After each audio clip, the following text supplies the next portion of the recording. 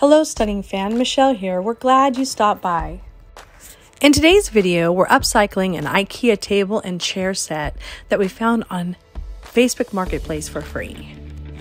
The chairs and the table legs had been chewed up so badly by a small animal that there were gouges of it missing. Almost every leg was chewed in various degrees.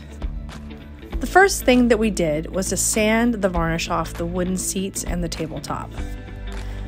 We started with 80 grit sandpaper, then we finished up the project with 220 grit sandpaper to give the table a nice, smooth finish. Once all the wood tops were sanded, it was time to rebuild the chair and the table legs. We used DAP plastic wood filler to do this.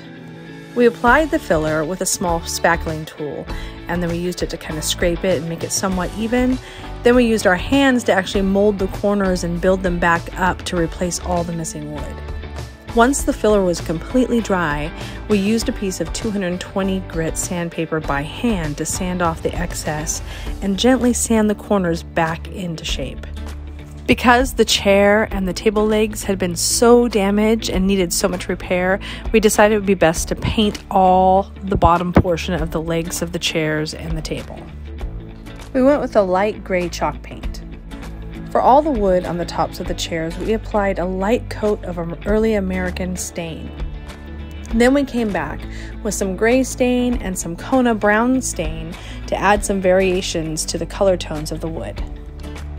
This was a bit of an artsy process, and we just had to keep applying different coats until we reached the desired look we wanted. When starting on the tabletop, we actually flipped the process around we started by using the darker accents of the gray, then we added a light coat of early American stain, and then we accented over top of that with the Kona brown stain. We finished off the table and the chairs with several coats of water-based polyurethane to seal the wood up really good. We are a lifestyle channel that features a variety of content from cooking, unboxing videos, to anything that can be a DIY style project. And we would really love it if you would like and subscribe and hit the bell so you can be notified the next time that we decide to share one of our projects. And here is the finished product. Again, thanks for stopping by and have an amazing day.